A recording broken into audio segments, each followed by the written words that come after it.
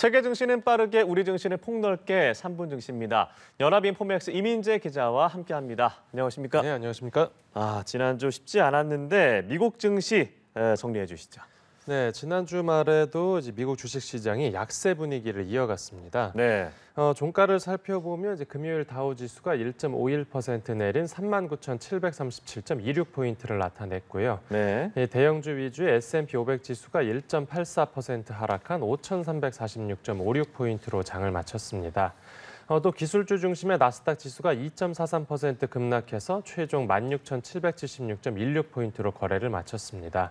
이 나스닥 지수는 지난달 고점 대비 10% 넘게 떨어지면서 조정 구간에 들어섰다고 분석됩니다. 네, 하락 공포가 지배했던 지난 한 주였는데 미국의 경기 침체 우려가 더 커졌다고요.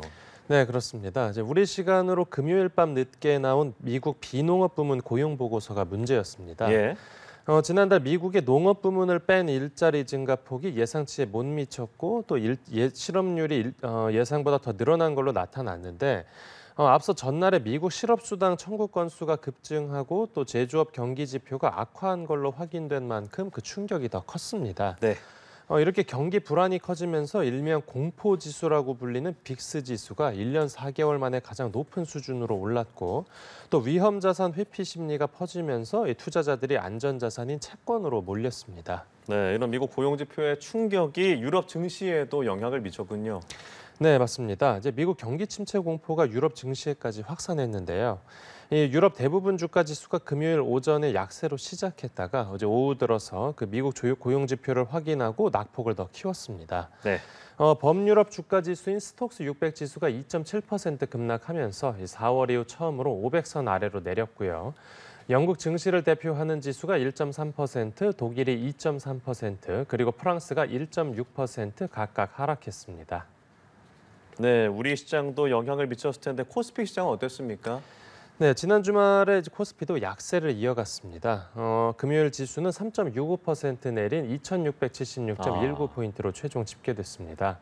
이제 외국인이 8천억 원, 기관이 7천억 원 넘게 팔았고 외국인은 코스피 선물도 2조 원 가까이 대량으로 순매도했습니다.